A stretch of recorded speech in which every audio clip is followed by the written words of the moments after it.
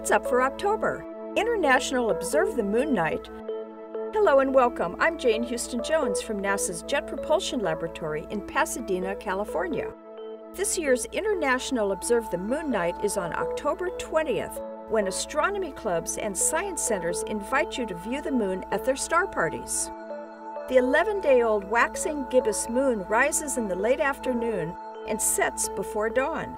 There are great features to enjoy whether you're observing with the unaided eye, through binoculars, or through a telescope.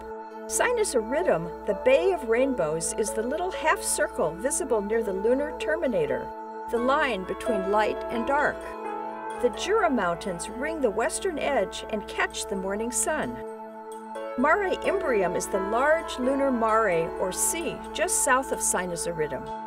As the moon approaches full, the large craters Copernicus and Tycho take center stage. Copernicus is 93 kilometers across, and its impact crater rays will be much more visible at full moon, although they're impressive on the 20th. Tycho lies in a field of craters near the south limb.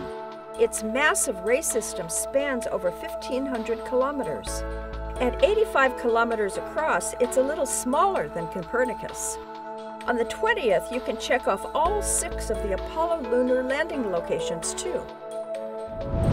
You can still catch the great lineup of bright planets in October, with Jupiter, Saturn, and Mars meeting up with the Moon again this month. Early birds can catch Venus just before dawn by month's end. You can find out more about International Observe the Moon Night at moon.nasa.gov/observe. And you can catch up on all of NASA's current and future missions at www.nasa.gov. That's all for this month. I'm Jane Houston Jones.